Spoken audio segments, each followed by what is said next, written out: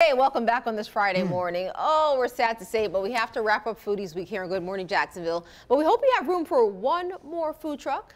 Always save Always some room for just one more. Even in that Even shirt, in, you well, got yeah, space. we got to expand. Yeah snugly.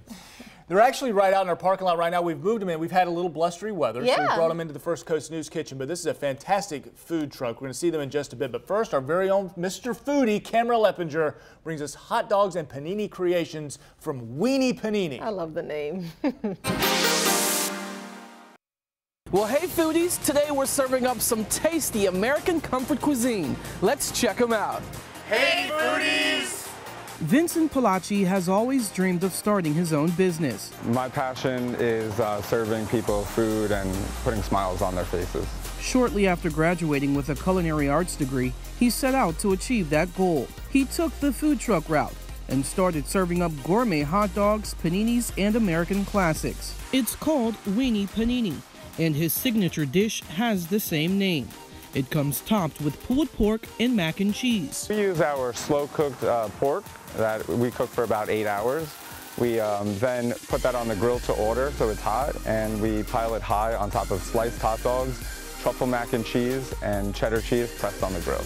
Also popular is his take on a Reuben sandwich. Instead, it's called the Ruby. Boil our hot dogs in seasoned water. We then put them on the grill to char them up. We use our Amoroso rolls. We toast on the grill, and we pile high with sauerkraut, corned beef hash, and Thousand Island dressing.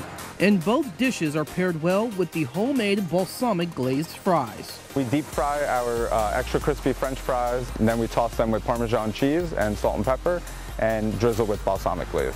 And remember, if you have a restaurant or food truck that you'd like us to check out, just simply send us a message and like our First Coast Foodies Facebook page. And that's also where our very own digital producer, Melissa Gus, she'll be bringing you more on restaurants from right here in our own backyard.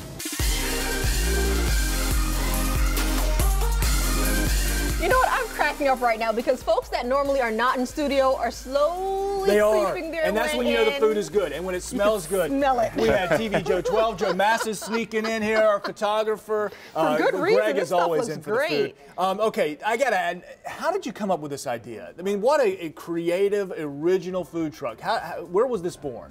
This was born pretty much, um, we just talked about how uh, we wanted to do paninis yeah. on a food truck, and then we decided, well, Jacksonville's missing hot dogs. Yeah. Mm. We're from the north and we love hot dogs, so we figured we'd do both.